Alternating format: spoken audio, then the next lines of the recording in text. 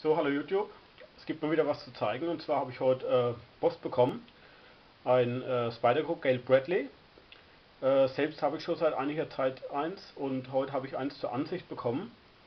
Und zwar geht es darum, äh, vor kurzem war in der Blade Community ein Review und der, der es geschrieben hat, ist also der Besitzer von dem Gale Bradley.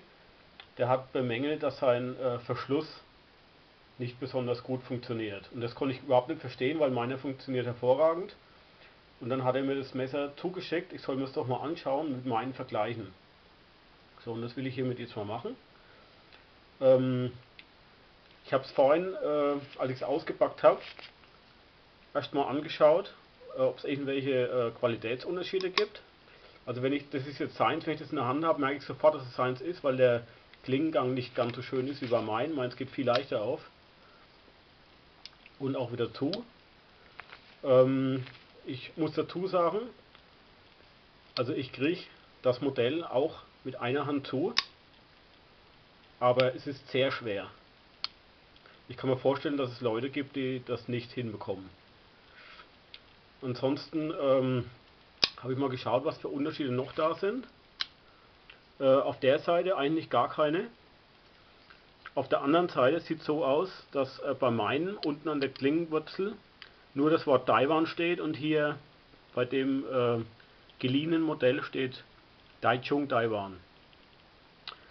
Ähm, was noch ein kleiner Unterschied ist, ich weiß nicht, ob man es jetzt hier sieht, das äh, Gale Bradley Logo sitzt bei dem äh, geliehenen Modell direkt am Loch und bei meinen ist, äh, sind einige Millimeter Abstand. Also es ist also nicht ganz genau gleich, es kommt wahrscheinlich aus einer anderen Charge oder ein anderer Jahrgang auch. Ansonsten ist die Verarbeitung bei beiden Messern also gleich gut. Ja, der Verschluss ist also so wie beschrieben. Der geht also äh, einfach ein bisschen schwerer, also ein bisschen ist gut, ein ganzes Stück schwerer und der ist auch ein bisschen weiter, äh, der rastet ein bisschen weiter ein an die Klingenwurzel als bei meinen. Bei meiner steht er noch ein bisschen weiter außen. Ähm, es ist also nicht so, dass er bei dem Messer sich irgendwie verkantet oder so oder frisst, sondern die Feder hat einfach mehr Vorspannung. Wenn man die drückt, die geht einfach viel schwerer zu drücken. Entweder hat also mehr Vorspannung oder ist, das Material ist härter. Äh, das ist der einzige Grund. Ja, also ich finde es äh, auch nicht gut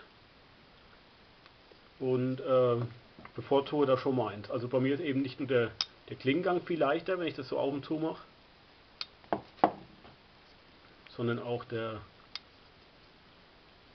sieht man natürlich auf dem Video jetzt nicht, man spürt halt ganz deutlich. Es ist auch gleichmäßig, aber äh, ist strammer. Kann natürlich sein, dass die Klingenachse ein bisschen fester angezogen ist. Das kann aber mit dem Verschluss nichts zu tun haben. Man hört auch das Geräusch. Ist bei dem viel lauter als bei meinem. Ich weiß nicht, wie es auf dem Video rüberkommt. Man hört es aber deutlich. Ja, das soll ich jetzt hier nochmal zeigen.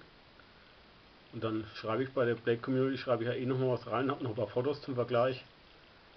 Und äh, ich denke mal, das soll es hier gewesen sein.